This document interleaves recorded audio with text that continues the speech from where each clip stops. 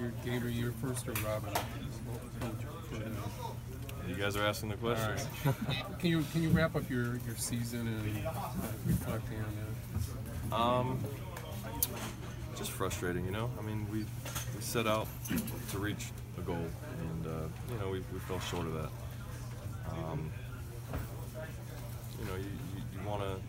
I think we I think we finished strong. You know, I think we fought. We definitely fought till the end. Um, but you know, it leaves us still with a little empty feeling inside. Um, but I think next year, I think we have a group of guys in here, and we've certainly talked about it over the last couple of weeks. Uh, make some changes around here and, and doing doing some things collectively as players to, to put a better product on the field. What are your thoughts on Bobby's departure? It's tough, man. Um, he's as good as they get, really. He, uh, over the last five years, he did everything he could in his power to to help us win games. Honestly, and, um, you know, obviously it didn't it didn't work out as planned or as we would have liked it, but you know he wasn't exactly given two aces out of the out, out of the gate. So. Um, you know, he, I think he did the best with what he had.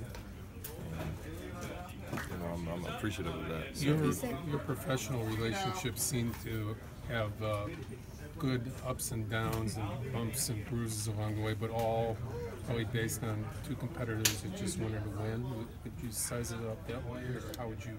I, I think I think a little bit too much emphasis gets put on that. Really, um,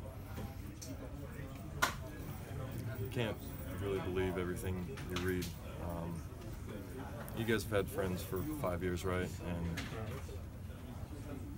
you know, you're- you're not bosses or or anybody. Uh, you, you know, what do we do we have? A couple, you know, maybe things that made it in the news or whatever.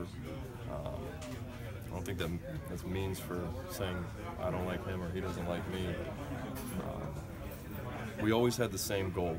We always had the same vision, and we're just very passionate. I mean, you get a bunch of guys in the same room that's you know testosterone's pumping, and this is a very competitive game.